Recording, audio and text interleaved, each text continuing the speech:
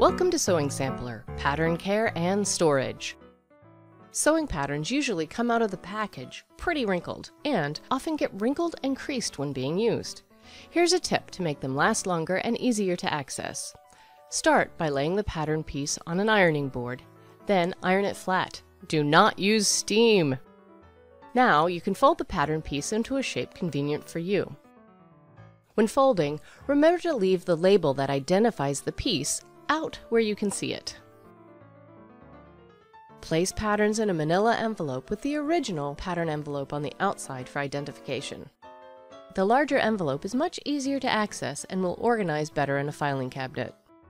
For more how-tos, event videos, and product reviews, follow us on YouTube, Facebook, and Instagram at Costume Trek.